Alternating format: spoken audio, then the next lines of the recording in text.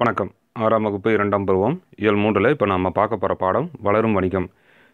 இந்த வீடியோ வந்து ரெண்டு ஆஃபாக பிரிச்சுக்கோங்க. ஃபர்ஸ்ட் ஆஃப் வந்து ஒரு கிளான்ஸ் இந்த லெசனை பற்றின ஒரு கிளான்ஸ் பார்த்துடலாம். செகண்ட் ஆஃப் வந்து ஒன் மார்க்ஸ் பற்றி பார்க்கலாம். அந்த ஒன் மார்க்ஸ் நான் தனியாக எடுத்து வச்சிருக்கிற பிடிஎஃப் ஃபைல் வந்து உங்களுக்கு லிங்க்கில் இருக்குது அந்த லிங்க்கை கிளிக் பண்ணிங்கன்னா பிடிஎஃப் ஃபைல் வரும். தேவைப்பட்டவங்க டவுன்லோட் பண்ணி படித்து பார்த்துக்கோங்க. பாடத்துக்கு போகலாம் இந்த பாடத்தில் என்ன சொல்ல வராங்கன்னா வணிகம். அது அந்த காலத்தில் ஆரம்ப காலத்தில் எப்படி வணிகம் ஆரம்பிச்சிச்சு இப்போ எப்படி இருக்குது அப்படின்னு சொல்லிட்டு சொல்கிறது தான் இந்த லெசன் மனுஷன் தனக்கு தேவையான எல்லா பொருளையும் தானே உற்பத்தி செஞ்சுக்க முடியாது. அப்போ என்ன பண்ணுவான்? தங்கிட்ட இருக்கிற பொருளை கொடுத்துட்டு அவனுக்கு தேவையான பொருளை வாங்கிக்குவான். தங்கிட்ட இருக்கிற பொருளை கொடுக்குறதும் ஒருத்தர்கிட்ட இருந்து வாங்குறதும் தான் வணிகம்.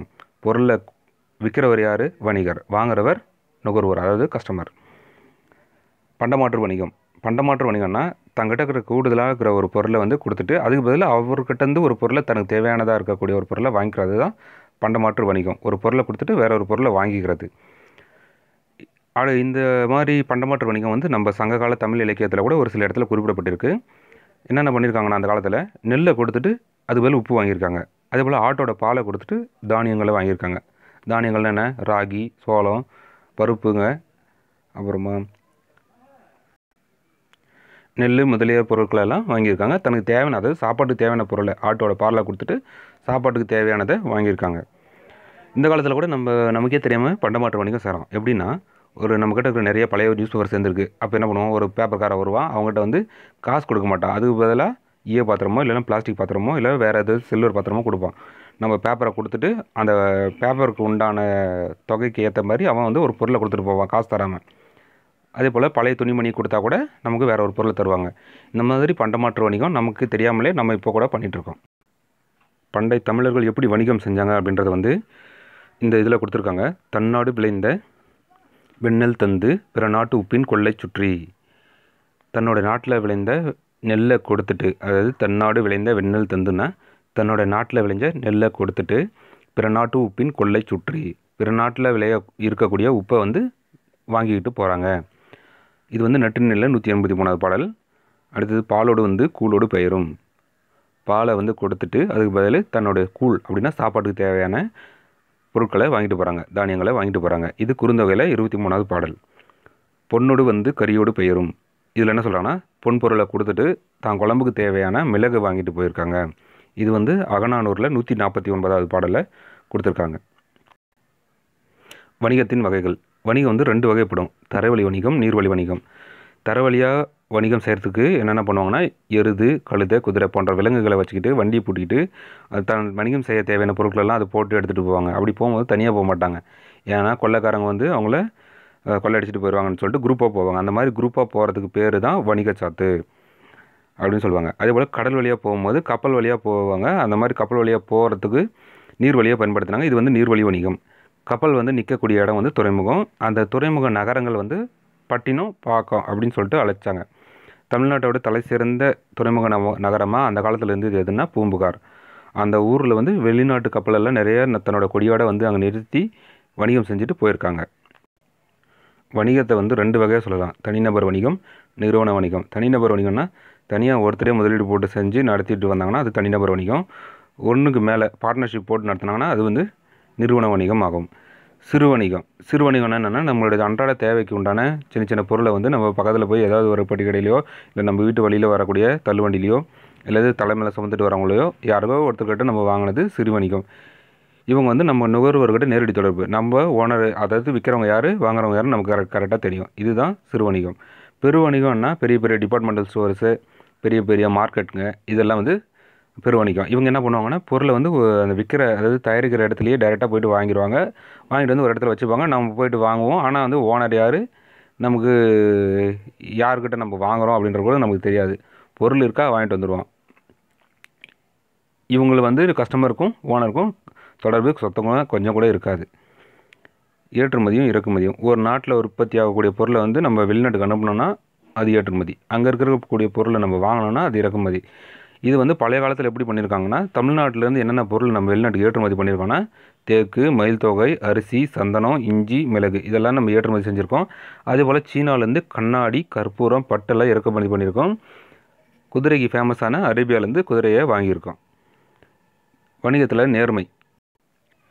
வணிகர்களோட நேர்மையை பற்றி திருவள்ளுவர் கூட பாராட்டியிருக்காரு. எந்த குரல்லன்னு பார்த்தீங்கன்னா வாணிகம் செய்வோர்க்கு வாணிகம் பேணி பெருவும் தமபோல் செய்யின். வாணிகர்கள் வந்து ஒரு பொருளை வந்து நம்ம வீட்டுக்கு வாங்கி போனால் எப்படி வாங்கி போவோம்? நல்ல பொருளாக பார்த்து வாங்கி போவோம். அதுபோல் நம்ம விற்கக்கூடிய பொருளும் நல்ல பொருளாக விற்கணும் அப்படின்னு சொல்லிட்டு மனசில் வச்சுருப்பாங்க. அதுதான் திருவள்ளுவர் சொல்லியிருக்காரு. இதே போல் பட்டினப்பாலை கூட வணிகர்களை பற்றி பாராட்டியிருக்கு. நடுவு நின்ற நன்னெஞ்சினோர் அப்படின்னு சொல்லிட்டு.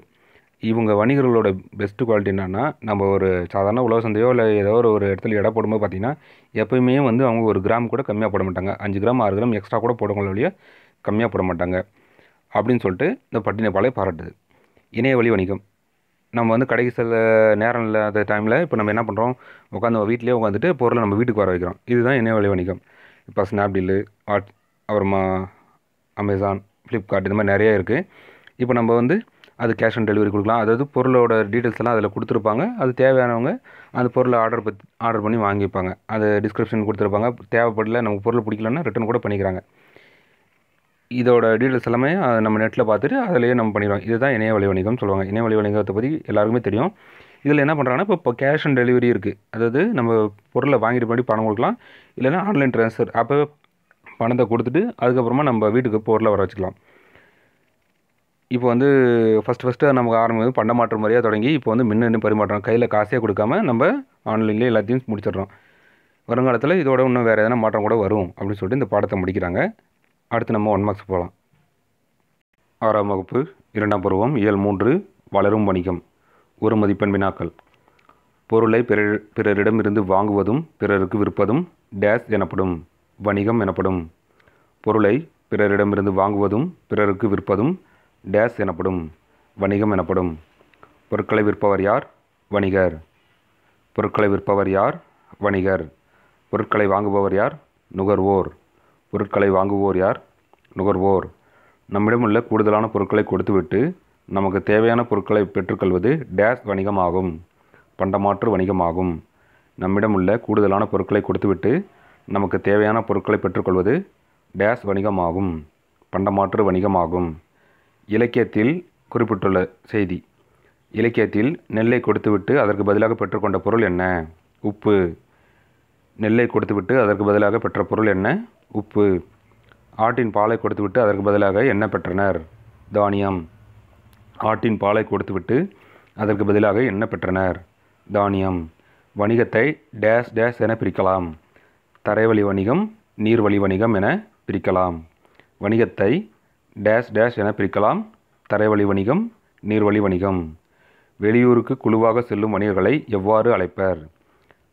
வணிகச் சாத்து வெளியூருக்கு குழுவாக செல்லும் வணிகர்களை எவ்வாறு அழைப்பர்? வணிகச் சாத்து. கடல்வழி மூலம் அதாவது கப்பல் மூலம் பொருட்களை அனுப்புவதும் வரவழைப்பதும் டேஸ் வணிகமாகும் நீர்வழி வணிகமாகும்.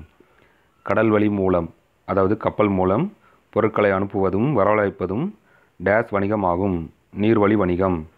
கப்பல் வந்து நிற்கும் இடம் டேஸ் எனப்படும் துறைமுகம் எனப்படும். கப்பல் வந்து நிற்கும் இடம் டேஸ் எனப்படும். துறைமுகம் எனப்படும் துறைமுக நகரங்கள் எவ்வாறு அழைக்கப்பட்டன? பட்டினம் பாக்கம்.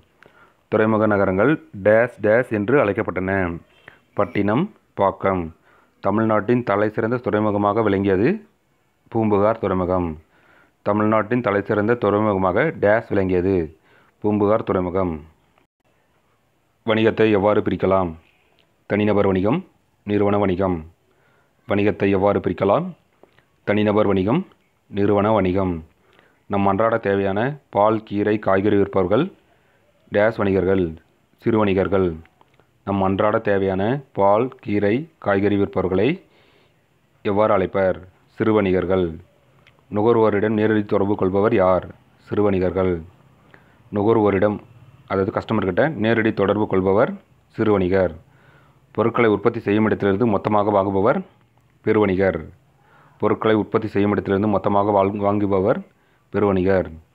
ஒரு நாட்டில் உற்பத்தி செய்யப்படும் பொருட்களை பிற நாடுகளுக்கு அனுப்புவது ஏற்றுமதி. ஒரு நாட்டில் உற்பத்தி செய்யப்படும் பொருட்களை பிற நாட்டுக்கு அனுப்புவது ஏற்றுமதி எனப்படும். பிற நாடுகளிலிருந்து பொருட்களை வாங்குவது டேஸ் எனப்படும் இறக்குமதி எனப்படும். பிற நாடுகளிலிருந்து பொருட்களை வாங்குவது டேஸ் எனப்படும் இறக்குமதி எனப்படும்.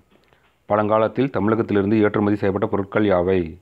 தேக்கு மயில் தொகை அரிசி சந்தனம் இஞ்சி மிளகு. பழங்காலத்தில் தமிழகத்திலிருந்து ஏற்றுமதி செய்யப்பட்ட பொருட்கள் யாவை? தேக்கு மயில் தொகை அரிசி சந்தனம் இஞ்சி மிளகு. பழங்காலத்தில் சீனாவிலிருந்து இறக்குமதி செய்யப்பட்ட பொருட்கள் யாவை? கண்ணாடி கற்பூரம் பட்டு. பழங்காலத்தில் சீனாவிலிருந்து இறக்குமதி செய்யப்பட்ட பொருட்கள் யாவை? கண்ணாடி கற்பூரம் பட்டு. பழங்காலத்தில் குதிரைகள் எங்கிருந்து வாங்கப்பட்டன? அரேபியா. பழங்காலத்தில் குதிரைகள் எங்கிருந்து வாங்கப்பட்டன? அரேபியா. வணிகரின் நேர்மையை பற்றி கூறும் குரல் யாது? வாணிகம் செய்வோர்க்கு வாணிகம் பேணி பிறவும் தம் போல் செய்யின். வணிகரின் நேர்மையை பற்றி கூறும் குரல் யாது? வாணிகம் செய்வோர்க்கு வாணிகம் பேணி பிறவும் தவம் போல் செய்யின். பட்டினப்பாலை வணிகரை டேஸ் என பாராட்டுகிறது. நடுவு நின்ற நன்னெஞ்சினோர் பட்டினப்பாலை வணிகரை டேஸ் என பாராட்டுகிறது. நடுவு நின்ற நன்னெஞ்சினோர் என பாராட்டுகிறது. கடைக்கு சென்று பொருட்களை வாங்க இயலாதவர்களுக்கு உதவும் வணிக முறை இணையவழி வணிக முறை ஆகும். கடைக்கு சென்று பொருட்களை வாங்க இயலாதவர்களுக்கு உதவும் வணிக முறை இணையவழி வணிகம் ஆகும் வணிகம் பண்டமாற்று முறையில் தொடங்கி தற்போது டேஸ் அளவு உயர்ந்துள்ளது. மின்னணு பரிமாற்றும் அளவுக்கு உயர்ந்துள்ளது. வணிகம் பண்டமாற்று முறையில் தொடங்கி தற்போது டேஸ் வரை உயர்ந்துள்ளது. மின்னணு பரிமாற்றம் செய்யும் வரை உயர்ந்துள்ளது. பாடநூல் வினாக்கள் வீட்டு பயன்பாட்டிற்காக பயன்ப பொருட்களை வாங்குபவர் நுகர்வோர். வீட்டு பயன்பாட்டிற்காக பொருட்களை வாங்குபவர் யார்? நுகர்வோர். வணிகம் கூட்டல் சாத்து வணிகச் சாத்து. வணிகம் கூட்டல் சாத்து வணிகச் சாத்து. பண்டம் கூட்டல் மாற்று பண்டமாற்று. பண்டம் கூட்டல் மாற்று பண்டமாற்று. வண்ணம் வண்ணப்படங்கள் வண்ணம் கூட்டல் படங்கள். வண்ணப்படங்கள் வண்ணம் கூட்டல் படங்கள். விரிவடைந்த விரிவு குடல் அடைந்த விரிவடைந்த விரிவு குடல் அடைந்த. டேஸ் வணிகர்களுக்கு அதிக லாபம் கிடைப்பதில்லை. சில்லறை வணிகர்களுக்கு டேஸ் வணிகர்களுக்கு அதிக லாபம் கிடைப்பதில்லை. சில்லறை வணிகர்களுக்கு அதிக லாபம் கிடைப்பதில்லை. அயல்நாட்டு வணிகத்திற்கு மிகவும் உதவும் போக்குவரத்து டேஸ் போக்குவரத்து ஆகும் கப்பல் போக்குவரத்து அயல்நாட்டு வணிகத்திற்கு மிகவும் உதவும் போக்குவரத்து கப்பல் போக்குவரத்து ஆகும். மின்னணு மின்குடல் அணு. மின்னணு. வெளி குடல் ஊர் வெளியூர். பெருவணிகம் பெருமை குடல் வணிகம். பெருவணிகம் பெருமை குடல் வணிகம். ஆங்கில சொற்களுக்கு இணையான தமிழ் சொற்கள். கரன்சி நோட் பணத்தால் கரன்சி நோட் பணத்தால் பேங்க் வங்கி. பேங்க் வங்கி. செக் காசோலை. செக் காசோலை. டிமாண்ட் டிராஃப்ட் வரைவோலை. டிமாண்ட் டிராஃப்ட் வரைவோலை டிஜிட்டல் மின்னணு மையம். டிஜிட்டல் மின்னணு மையம். டெபிட் கார்டு பற்று அட்டை. டெபிட் கார்டு பற்று அட்டை. கிரெடிட் கார்டு கடன் அட்டை. கிரெடிட் கார்டு கடன் அட்டை. ஆன்லைன் ஷாப்பிங் இணையதள வணிகம். ஆன்லைன் ஷாப்பிங் இணையதள வணிகம்.